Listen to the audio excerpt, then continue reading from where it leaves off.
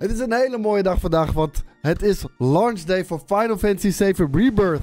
Misschien heb je me gisteren al de game zien spelen op stream. We zijn opnieuw begonnen, maar daar ontbrak één klein gedeelte aan. De proloog, die mocht ik nog niet laten zien voordat de game uit was. De game is nu uit, dus nemen we de proloog op in een aparte video. Het is maar een klein stukje, maar er zit een mooie verrassing in. Kom, we gaan het checken.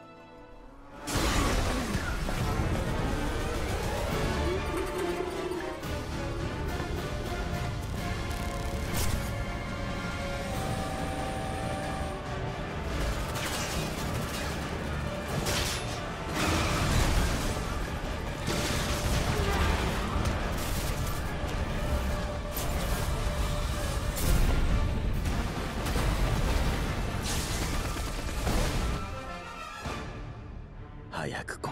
クラウド。Dat was dus het einde van Remake natuurlijk. En hier pik het weer op in ご Rebirth. ビルが完全に倒壊し道路が崩落しております。複数の建物から煙が立ち上り火の手が上がっているのが確認できます。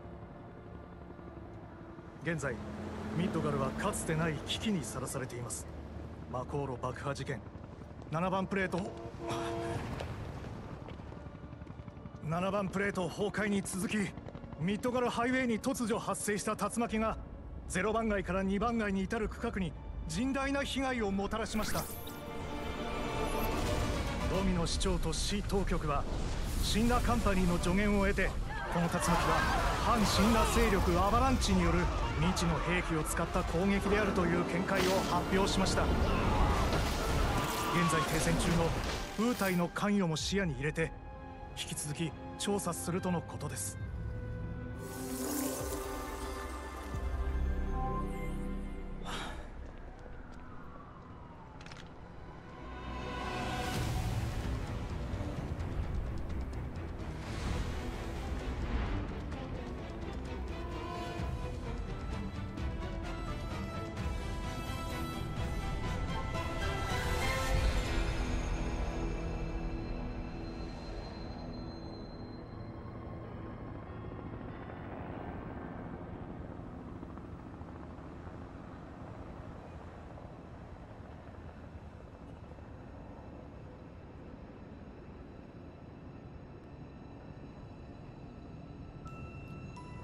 Altijd kippenvel wanneer ik dit hoor.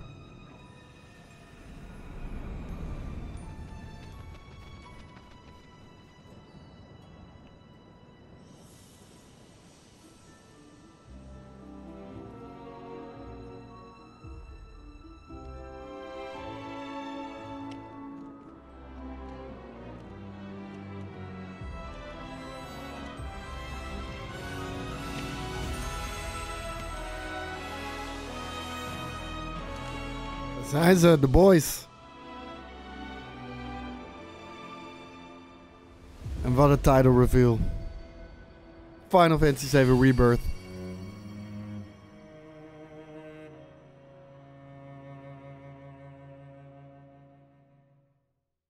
現在ミッドガルはかつてない危機にさらされていますマコーロ爆破事件7番プレート7番プレート崩壊に続きミッドガルがミッ全部ドガルハイウェイに突如ちゃったんだって。発生した竜巻が俺は0番街何かのから2番爆発だって言街に至るってに甚大な被害をもしたらしました。立て続けにいろいろ起こりすぎるよな。引き続き現場から生中継でお送りします。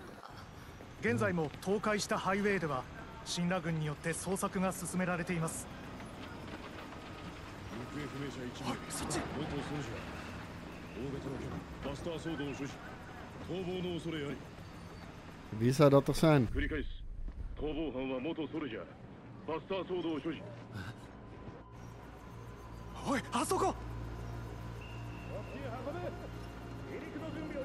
あれは救助された方でしょうかまずいあっちあっち向けておいこっちこっち 傷者を確保した。これよりヘリにて帰還する。急げ。出発するぞ。おい何をしてる。今ヘリが飛び立ちます。ご案内方面に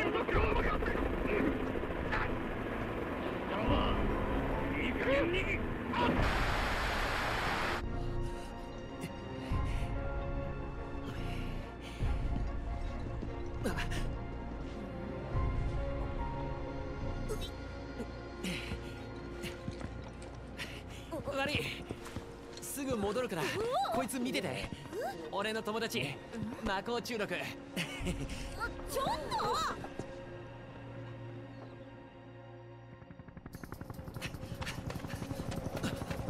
と！エアリス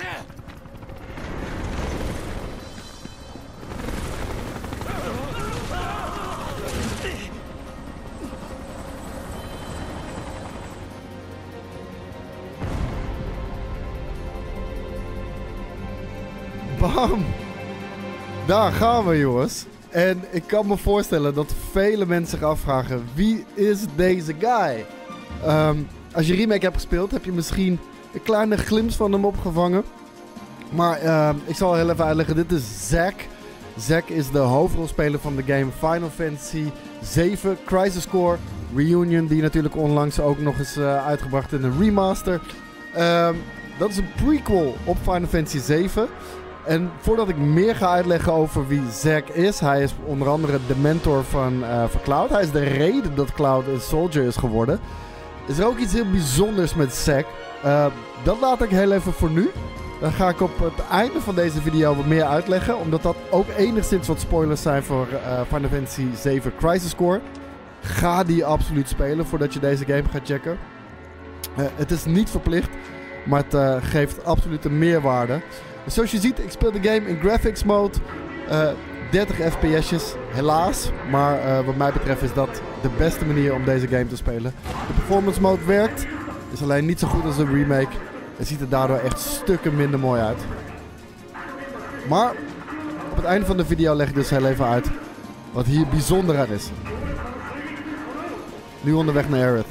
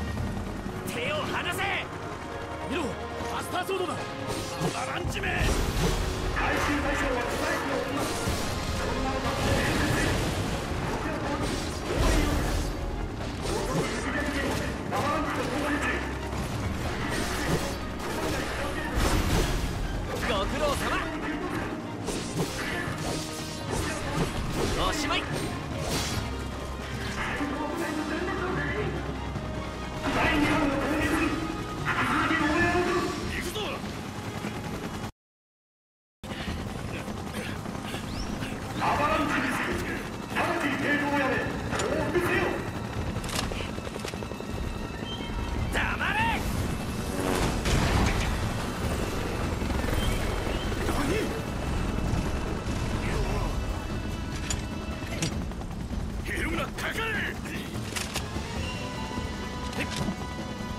当てる。ライフ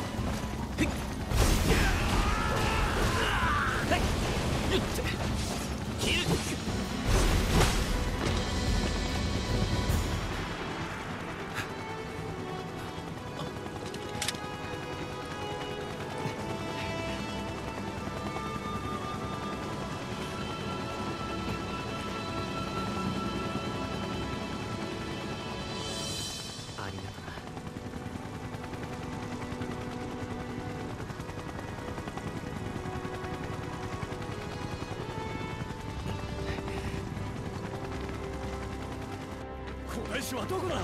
回収しないとえらい騒ぎになるぞ。ぼさっとするな。探せ!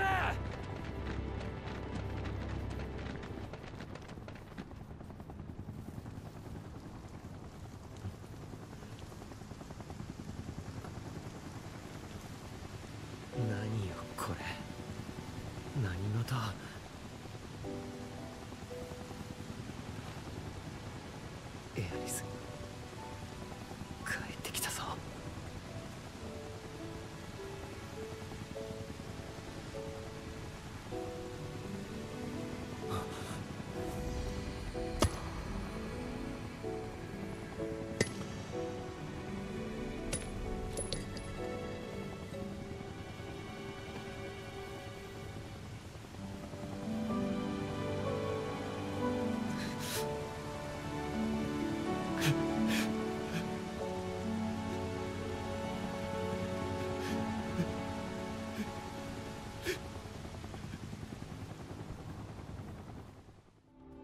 Dat was dan de proloog. Het kleine stukje wat ik jullie dus nog niet mocht laten zien. En ehm, ik zal nu heel even iets wat meer toelichting geven.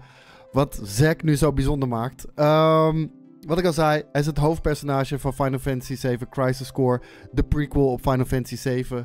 Um, Zack is dus niet alleen de mentor van Cloud. De reden dat hij een soldier is geworden. Maar hij is ook het vriendje van Aerith boyfriend. Zo kan je het uh, eigenlijk wel zien. Um, in Crisis Core, richting het einde, ga die alsjeblieft spelen. Dus wil je geen spoilers, dan was dit je waarschuwing. Maar Crisis Core eindigt eigenlijk waarbij Zack en Cloud Nibelheim zijn. Uh, daar achterna worden gezeten door Shinra Electric Company. En um, terwijl de twee weten te ontsnappen, heeft Cloud ontzettend veel last van Marco Poisoning. Er is op hem geëxperimenteerd.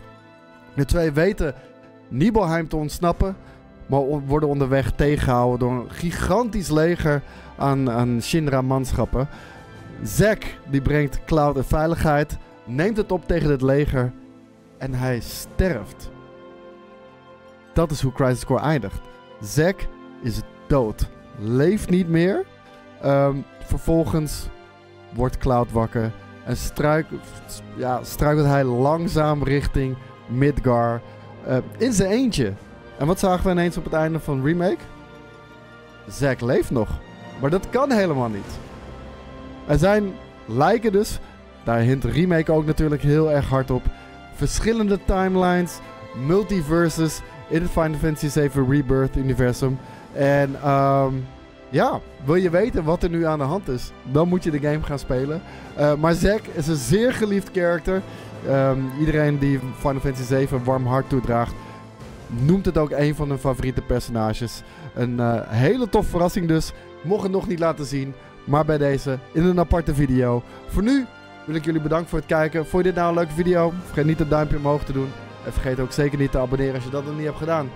Ik ga weer verder Final Fantasy spelen jongens. Later!